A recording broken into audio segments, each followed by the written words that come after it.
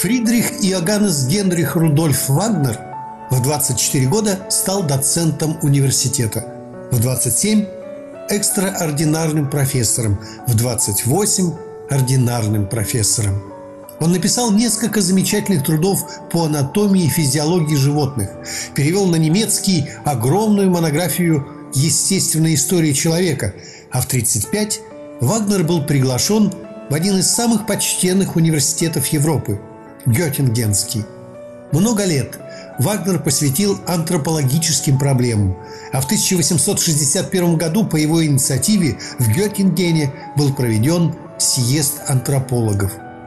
Замечательный ученый-христианин, обратившись к вопросам происхождения человека, оставил нам следующую фразу.